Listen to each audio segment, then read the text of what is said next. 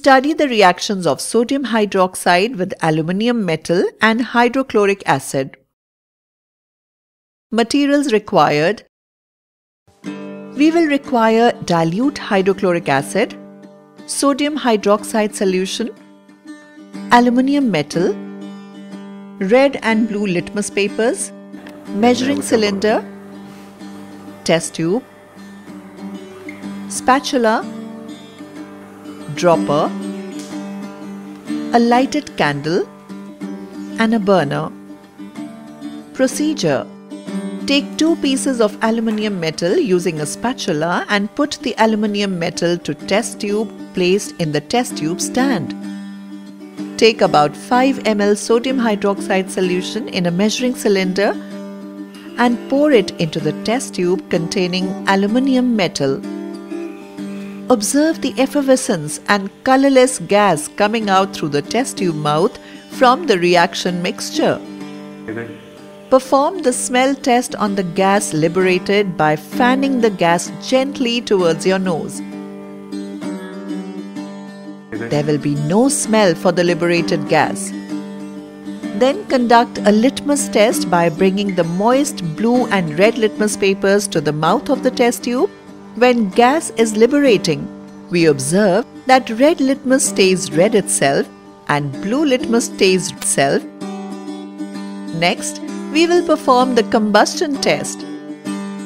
Heat the test tube using a Bunsen burner and observe the effervescence and colorless gas coming out through the test tube mouth from the reaction mixture.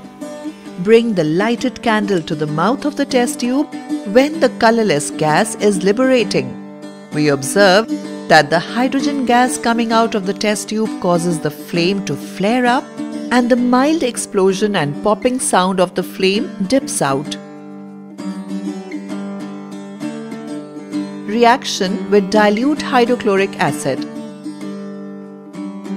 Take 5 ml of dilute sodium hydroxide solution in measuring cylinder and pour it in the test tube and label it as A.